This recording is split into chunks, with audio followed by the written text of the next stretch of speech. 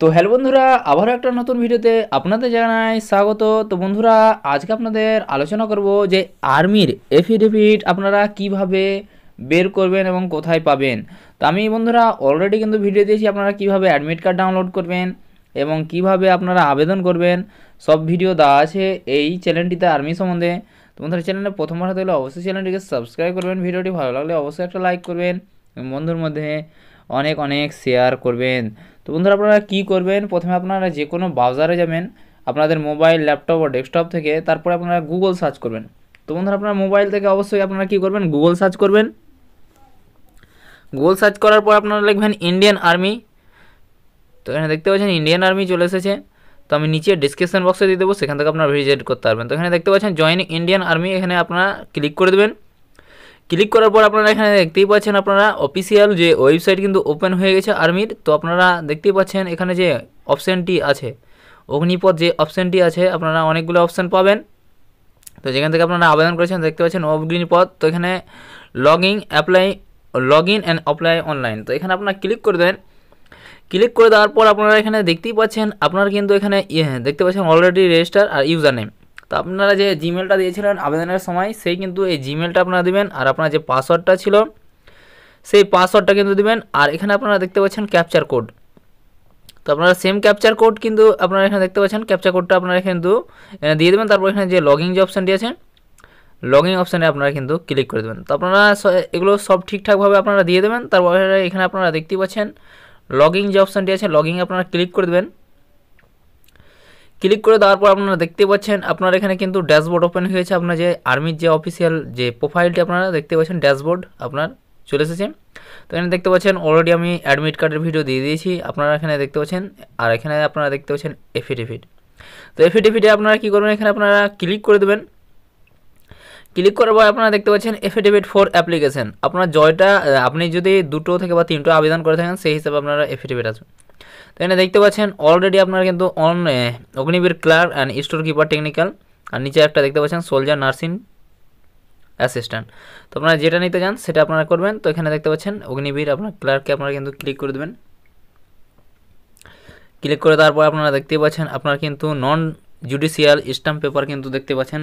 এটা যে paper front পেজটি আপনার চলে এসেছে।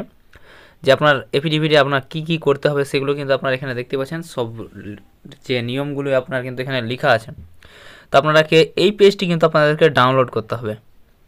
তো আপনারা নিচে স্ক্রল করে চলে আসবেন।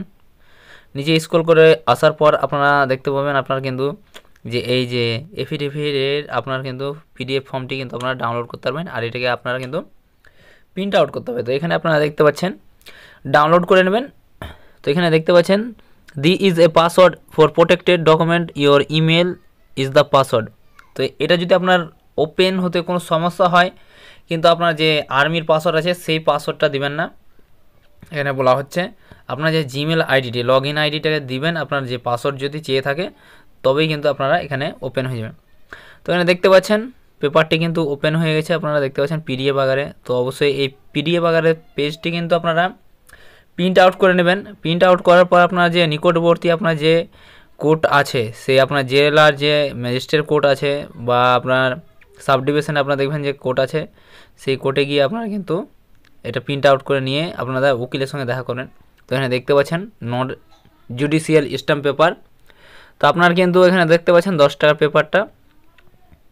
দেখতে পাচ্ছেন, আপনার এই যে সমস্ত ডিক্লারেশনগুলো দেওয়া আছে আপনার যাতে আপনি যে আর্মিতে আবেদন করবেন, আপনার কোনো যাতে ভুল ত্রুটি যাতে না থাকে, সেই জন্য। আর এখানে আপনারা দেখতে পাচ্ছেন পাসপোর্ট তো এখানে দেখতে পাচ্ছেন paste your passport and self declaration self attested the same তো আপনারা কী করবেন এখানে? আপনারা প্রথমে একটা ছবি দেবেন। ছবিতে আপনারা কিন্তু এখানে একটা সেলফ অ্যাটেস্টেড সিগনেচার করতে বলছেন।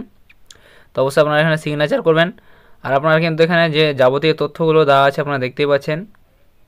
আপনার নাম, আপনার দেখতে পাচ্ছেন আপনি ফাদার্স এখানে দেখতে পাচ্ছেন আপনার সমস্ত কিন্তু দেওয়া আছে। আপনার নাম দেওয়া আছে আপনার এদিকে এদিকে দেখতেই পাচ্ছেন।